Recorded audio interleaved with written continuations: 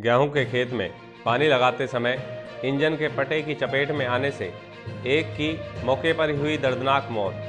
हादसे से मृतक के परिवार में मचा कोहराम।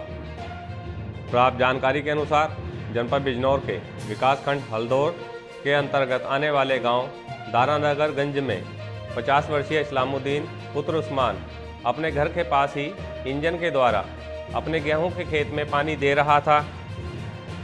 इस्लामुद्दीन ने ठंड से बचने के लिए एक चादर ओढ़ रखी थी, जो अचानक से इंजन के पटे की चपेट में आ गई, जिस कारण इस्लामुद्दीन इंजन के पटे में फंसकर इंजन से टकरा गया, जिसके कारण इस्लामुद्दीन की मौके पर ही दर्दनाक मौत हो गई।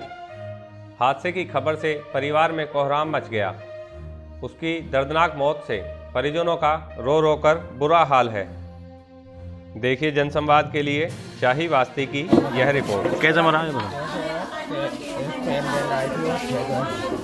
हैं? तेल अच्छा। ने घर में पानी तब तेल डालिया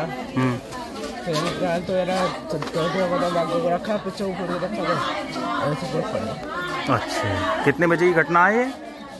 कितने बजे की बात है? दस ग्यारह बजे। बैठे बारह बजे। अच्छा।